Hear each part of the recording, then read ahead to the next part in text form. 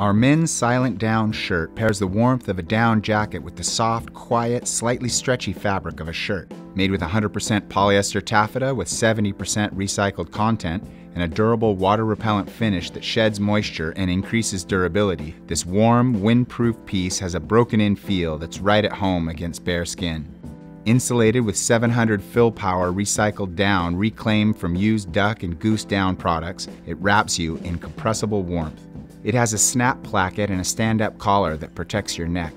Chest pockets close with snap flaps, and stealthy hand warmer pockets also close with snaps. Cuffs have a two-snap placket on this hip-length, regular fit down shirt. Soft, supple, and quiet, windproof, weather-resistant, and warm, this is our men's silent down shirt.